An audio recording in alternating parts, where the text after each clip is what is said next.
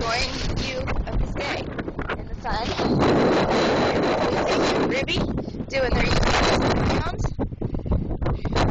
It's a little colder than I suspected it would be today.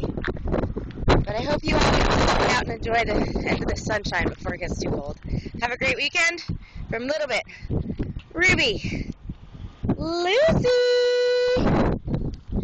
and me. And I'll come get the rest of the gang this afternoon about 1 o'clock. Over and out. It's Alana and the gang. Bye.